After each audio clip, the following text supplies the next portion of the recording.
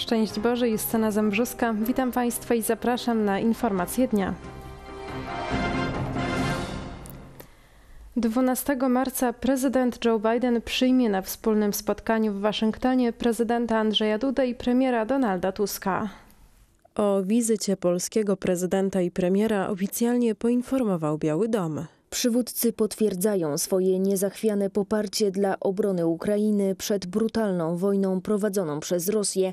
Spotkanie zbiega się także z 25. rocznicą przystąpienia Polski do NATO i podkreśla wspólne żelazne zaangażowanie Stanów Zjednoczonych i Polski na rzecz sojuszu, dzięki któremu wszyscy jesteśmy bezpieczniejsi. Czytamy w oświadczeniu, jakie zostało opublikowane wczoraj wieczorem. Do rozmów dojdzie 12 marca. Jednym z tematów ma być nadchodzący szczyt NATO w Waszyngtonie, a także współpraca amerykańsko-polska w zakresie bezpieczeństwa energetycznego. Polska w oparciu o amerykańskich partnerów chce budować w kraju elektrownie jądrowe. Na zaproszenie Białego Domu zareagował prezydent Andrzej Duda poprzez wpis w mediach społecznościowych. Wspólna wizyta prezydenta i premiera w Waszyngtonie w rocznicę wejścia Polski do NATO pokazuje, że Sojusz Polski i Stanów Zjednoczonych jest i będzie silny bez względu na to, kto rządzi w obu krajach. Polska wydając 4% PKB na obronność jest wiarygodnym sojusznikiem i wzorem dla innych państw sojuszu. Z inicjatywy polskiego prezydenta agenda rozmów ma być rozbudowana między innymi o obecność wojsk USA w Polsce, współpracę wojskową i kwestie związane z dozbrajaniem armii, co odbywa się przy udziale amerykańskiego przemysłu zbrojeniowego. Szczyt NATO w Waszyngtonie, na jaki w swoim oświadczeniu uwagę zwrócił Biały Dom, został zaplanowany na lipiec tego roku. Muzeum Pamięć i Tożsamość w Toruniu odpowiada na zarzuty, jakie stawia mu minister kultury. Bartłomiej Sienkiewicz mówi o wstrzymaniu środków na funkcjonowanie placówki i wprowadza w błąd, że muzeum jest projektem biznesowym, za jakim stoi jeden człowiek. Tymczasem placówka powstała, by upomnieć się o pamięć historyczną i polską tożsamość. Dwa miesiące po utworzeniu rządu z resortu kultury płyną słowa ministra o tym, że pluralizm służy kulturze i nikt nie będzie pozbawiony prawa do ubiegania się o środki publiczne. Będziemy starać się prowadzić tę politykę w taki sposób, aby nie wykluczać a priori żadnego środowiska z udziału w e, środkach publicznych. Tej deklaracji ministra Bartłomieja Sienkiewicza towarzyszy inna, sprzeczna, by odciąć od środków publicznych wybudowane w Toruniu Muzeum Pamięć i Tożsamość imienia świętego Jana Pawła II. Resort chce przyjrzeć się umowie z placówką i wprost szuka sposobu na odejście od jej treści. Podają hasło, że środki na kulturę są ograniczone, że nie prawo powinno być w centrum tej dyskusji, ale to, kto stworzył muzeum. Kościelni biznesmeni nie będą żerować na publicznych pieniądzach na kulturę. Znaczy nie ma takiej możliwości. Z ust ministra kultury padło nazwisko założyciela i dyrektora Radia Maryja, ojca Tadeusza Rydzyka. Padło jako uzasadnienie dla decyzji o ucięciu finansowania. Padło wbrew deklaracjom o tym, że nie będzie wykluczenia. Padłoby świadomie wprowadzać w błąd, że to prywatne muzeum jednego człowieka, a nie muzeum nas wszystkich Polaków, dla których święty Jan Paweł II pozostaje drogowskazem. Jeżeli w demokracji miałoby być tak, że ktoś przychodzi do władzy, sprawuje władzę, buduje jakieś instytucje, przychodzi następny i wszystko wycina, prawda, bo mu się nie podoba, bo on ma inną opcję, no to jest po prostu niszczenie dobra publicznego. Były wicepremier i minister kultury profesor Piotr Gliński, który kierował pracami resortu, gdy zapadła decyzja o budowie Muzeum Pamięć i Tożsamość. Mówi, że Bartłomiej Sienkiewicz nie reprezentuje sam siebie, ale reprezentuje państwo, a instytucja powstająca w Toruniu już otwarta. To propozycja, która zasługuje na wsparcie, bo przedstawia polską historię poprzez aksjologię największego Polaka w dziejach. Po to budujemy takie instytucje, y, żeby społeczeństwo było mądrzejsze, żeby było bardziej dojrzałe, żeby znajdowało sens życia. Czyli co? Rozbierzemy y, to muzeum, które zostało zbudowane. Dyrektor Muzeum Pamięć i Tożsamość ojciec Jan Król odrzuca zarzuty ministra kultury i przypomina, że muzeum nie jest przedsięwzięciem biznesowym ani nawet kościelnym. Z samej swojej istoty muzeum jest jednostką organizacyjną nienastawioną na osiąganie zysku. Zatem nie ma tu żerowania na publicznych pieniądzach na kulturę przez biznesmenów kościelnych. Muzeum to upomnienie się o historię, o rolę jaką odegrał w niej święty Jan Paweł II upomnienie się o narodowych bohaterów, o tożsamość polskiego narodu. Dlatego w oświadczeniu dyrektora placówki czytamy o realizowaniu polskiej racji stanu. Jedynym celem powołania Muzeum Pamięć i Tożsamość imienia świętego Jana Pawła II było niewątpliwie stworzenie miejsca upowszechniania historii, nauki i kultury polskiej jako depozytariusza pamięci o ponad tysiącletniej historii chrześcijańskiej Polski. I sposób, w jaki to zrobiono, oparto o współpracę, współpracę, która jest znana resortowi kultury także w przypadku innych instytucji, współtworzonych z podmiotami prywatnymi, samorządami i diecezjami. Dlatego, jak mówi profesor Piotr Gliński, minister jest odpowiedzialny za powstanie muzeum. bo reprezentuje naród jako współwłaściciela tej instytucji. Tak jak wiele innych instytucji kultury jest współprowadzona z innym podmiotem, w tym wypadku z Fundacją Lex Veritatis. Muzeum Pamięci Tożsamość zostało oficjalnie otwarte w tym roku. Ukończenia wymaga jeszcze wystawa stała.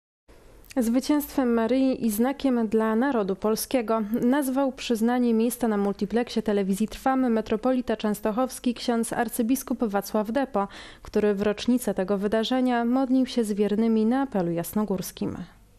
Długie zmagania, ponad 120 marszów w całej Polsce i za granicą i ten największy, który ulicami Warszawy przeszedł 29 września 2012 roku. I wreszcie to, na co czekali odbiorcy toruńskich mediów. Decyzja, o której w dziesiątą rocznicę jej wydania mówił na Jasnej Górze metropolita częstochowski ksiądz arcybiskup Wacław Depo, gdy błogosławił wiernych. Pragnę przypomnieć, że już w wolnej Polsce, po tak zwanych wolnych wyborach, trwało zmaganie o przyznanie telewizji Trwa miejsca na multiplexie. I właśnie 10 lat temu, w nocy z 14 na 15 lutego, sprawowaliśmy Eucharystię razem z księdzem arcybiskupem Zygmuntem Zimowskim, dziękując Bogu za to zwycięstwo Maryi. Kolejny jej znak dla narodu polskiego.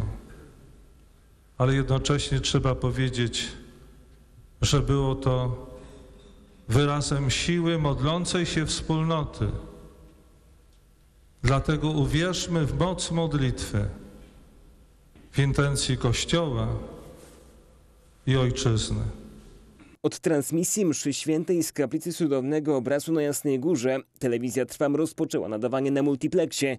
Jej oferta to obok codziennej modlitwy, Eucharystii, apelu jasnogórskiego i różańca. Także serwis informacyjny i programy podejmujące tematy społeczne, polityczne i historyczne. I zmieniamy temat. 20 lutego kolejny mocny akcent w trwających protestach rolników. Polski rząd rozmawia z Ukrainą o współpracy i wbrew alarmom, jakie podnoszą gospodarze, może zgodzić się na eksport, pod warunkiem, że ustali z Kijowem, co i w jakiej ilości ma przekraczać granice.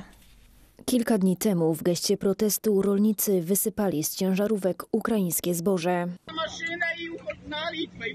Polscy rolnicy są przyparci do muru. Wysypywanie zboża było formą sprzeciwu wobec braku reakcji rządu. Sprzeciwu, że sami są zmuszeni kontrolować, co rzeczywiście wpływa do Polski z Ukrainy, bo jak uzasadniają, nie radzi sobie z tym państwo. Krochmal. Zmiotki. Po stronie ukraińskiej nie ma dziś zrozumienia dla postulatów i emocji, jakie towarzyszą rolnikom.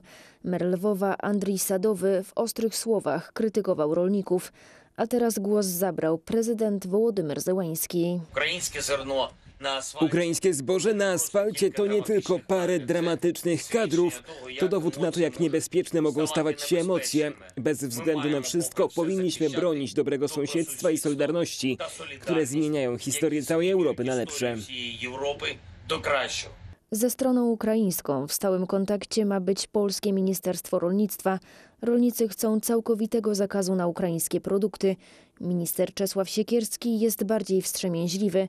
Mówi o wznowieniu eksportu, prowadzonych rozmowach z Kijowem i określeniu do końca marca, co i w jakiej ilości mogłoby trafiać do Polski. Nadmierny, że nadmierny napływ towarów spowoduje e, no, zachwianie niektórych rynków. Są pewne hamulce bezpieczeństwa, które chcemy wprowadzić, aby Ukraina e, mogła eksportować. Głównie e, chcemy, żeby Unia poparła, wsparła finansowanie transportu, eksportu ukraińskiego w te części świata, gdzie ta żywność jest potrzebna. Rolnicy nie wyobrażają sobie tego, alarmują, że nawet teraz zboże z Ukrainy, pomimo embarga, trafia poza kontrolą na polski rynek. Mamy takie informacje, że rzepak wjeżdża pod nazwą granulat olejowe. Napływ ukraińskiego zboża pokrywa się z wprowadzeniem Zielonego Ładu, czego konsekwencją może być ograniczenie produkcji rolnej. Rolnicy 20 lutego znów planują szeroką akcję protestacyjną. A na koniec jeszcze zagranica. Ukraina wycofuje wojska z Awdijiwki. Dowództwo podjęło decyzję o odwrocie w obliczu braku amunicji.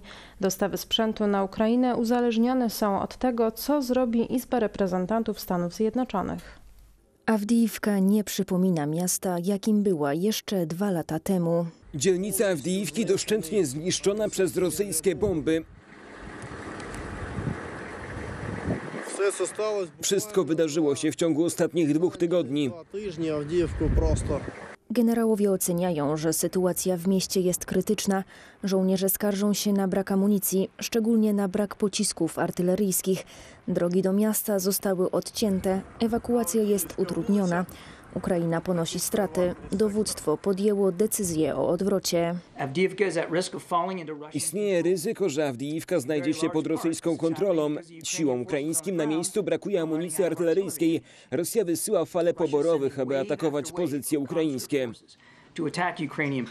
Rzecznik Rady Bezpieczeństwa Narodowego USA John Kirby ocenił, że to, co dzieje się w Awdijiwce, to koszt bierności kongresu. Izba Reprezentantów zwleka z zatwierdzeniem pakietu wsparcia dla Kijowa. Wcześniej zgodził się na nie Senat. Awdijiwka jest nazywana bramą do Doniecka. Zajęcie miasta Putin ogłosi jako swój sukces i wykorzysta w marcowych wyborach prezydenckich. Apel o przegłosowanie pakietu podniósł minister spraw zagranicznych Wielkiej Brytanii David Cameron, który przebywał wczoraj w Warszawie. Spotkał się z ministrem Radosławem Sikorskim. To, co zrobią Amerykanie, będą obserwować inni, każdy kraj na świecie, aby zobaczyć, czy my, kraje zachodnie, czy jesteśmy wiarygodnymi sojusznikami. W Polsce David Cameron rozmawiał też z prezydentem Andrzejem Dudą.